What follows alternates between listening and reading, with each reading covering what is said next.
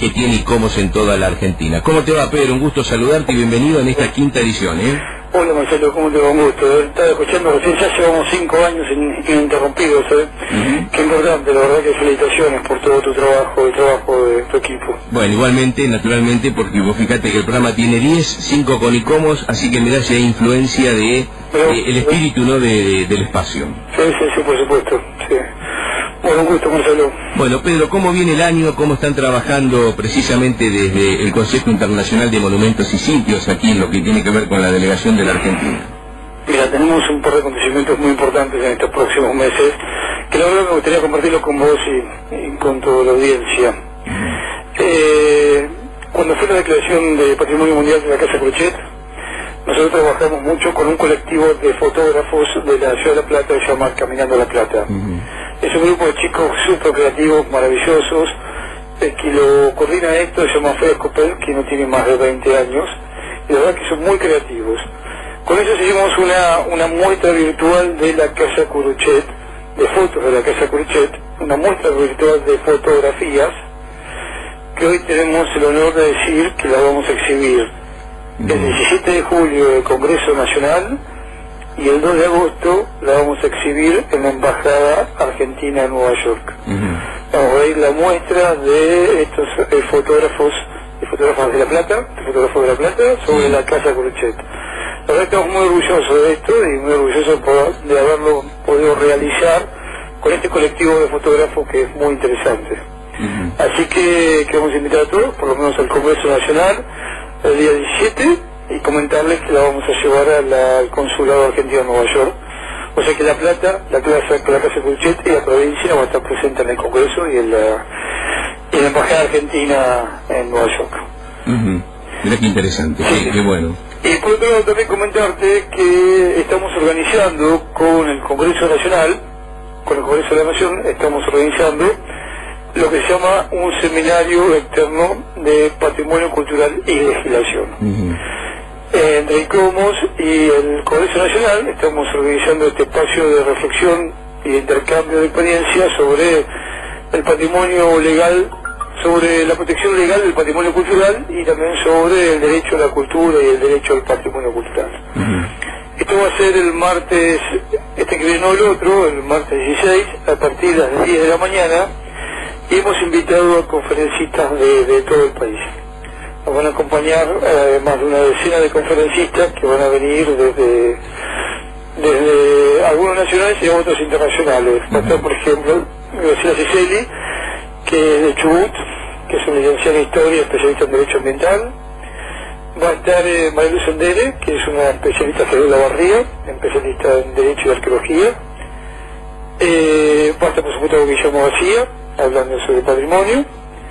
Va a haber un, abogado muy conocido en Córdoba que prácticamente fue el que generó la jurisprudencia en relación a la protección del patrimonio en la provincia, que es el doctor Rafael Bagione, que es casi como una gloria nacional. Susana Párez, también una, una, una, gran abogada y una gran escritora, también de Córdoba. Federico Valdés, que es un especialista en Derecho Propiedad Intelectual, que viene de Chaco la doctora Pucciarelli, que va a estar por, la ciudad de Buenos Aires, el doctor Beati, que es el que está haciendo la ley de mecenazgo. Digamos, vamos a tener representantes de todo el país para discutir de qué manera la, de qué manera se protege el patrimonio. vamos a hablar sobre de qué manera podemos proteger el patrimonio a partir de la legislación. Así que bueno, ese es una, un gran, eh, para nosotros un gran, una acción muy importante porque la realizamos por supuesto en el, en el Congreso Nacional y para nosotros esto es un honor que nos hayan permitido. Por supuesto, claro, porque uno cuando este, habla de, estas cuestiones, siempre hay em, que estar amparado bajo la ley, por ejemplo, cuando uno trabaja sobre los monumentos, sobre edificios emblemáticos, y, y cuando incluso hasta proyecta construir algo nuevo, siempre, digamos, está la legislación a seguir, a tener en cuenta. No sé si esto está muchas veces muy difundido, siempre nos quedamos con el paisaje, nos quedamos con la obra, pero no contamos, y qué bueno esto que surja, lo que está detrás de todo eso. Claro, pero eso tiene también un valor agregado, que estamos discutiendo esto en el lugar donde se hacen las leyes.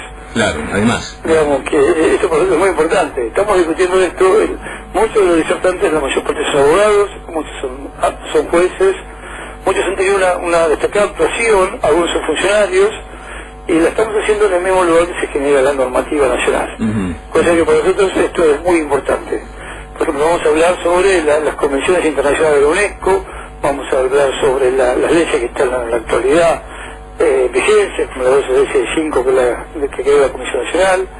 Tenemos también, que me había olvidado de, de nombrar, a la doctora Liliana Cedric, que, de nuestra ciudad, de La Plata, que es toda la autoridad en el tema.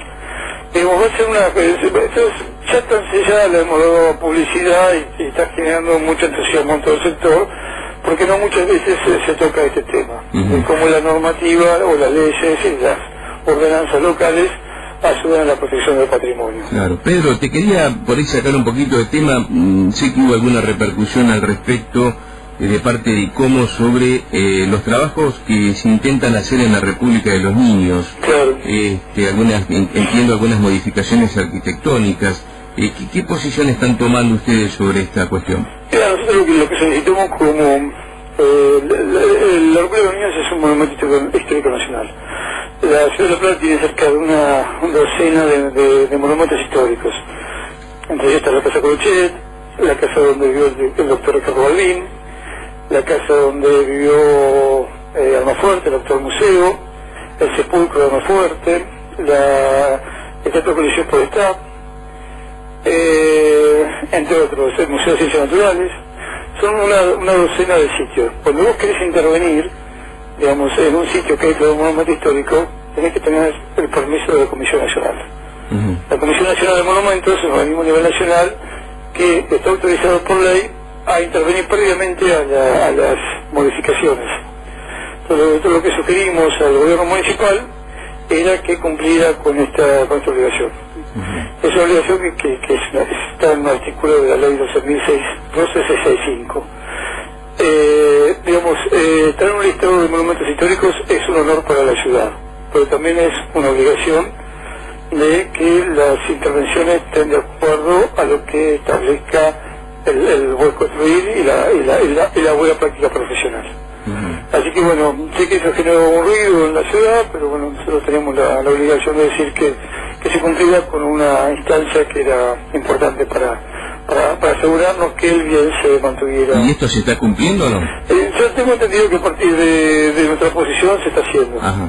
Yo, yo entiendo que sí. Entiendo que esto generó eh, vínculos con la Comisión Nacional y creo que esto, eh, lo- se, se, por hasta donde yo sé, se estaría, se estaría cumpliendo. Digo, siempre está bueno que esto surja desde la ignorancia y no adrede, ¿no? Claro, igualmente también lo que nosotros decíamos era, nosotros queremos, eh, tomamos como válido el ejemplo del Coliseo Podestá. Ujú. El Coliseo Podestá, que, que tuvo tres intervenciones y que fueron bastante respetuosas, inclusive algunas intervenciones fueron hechas casi exclusivamente con empleados de la municipalidad, tuvo un arquitecto que estuvo a cargo de las obras, que es un arquitecto de planta del municipio, Alberto Leonforte, Ujú. que la municipalidad lo distinguió como ciudadano ilustre el año pasado y nosotros adherimos a esa distinción. Lo que también solicitamos es que haya un arquitecto a cargo de las obras que tenga eh, un perfil de restaurar, un perfil profesional acorde a, las a, la- a la- a todo este proceso de restauración. La municipalidad y la municipalidad de planta permanente, la municipalidad tiene profesionales muy, muy, muy destacados. Lo que decimos es que cada uno de estos sitios debería tener, como tiene el Coliseo por Alberto Lanforte, tener un profesional de, de- de actuación para asegurarnos que las intervenciones eh, sean eh, adecuadas. Así que esperemos que esto se cumpla y para el bien del- del- de este patrimonio que es del- de, todos los platenses, pero también de todo el país. Así que bueno, supongo- suponemos que se va a cumplir con esto.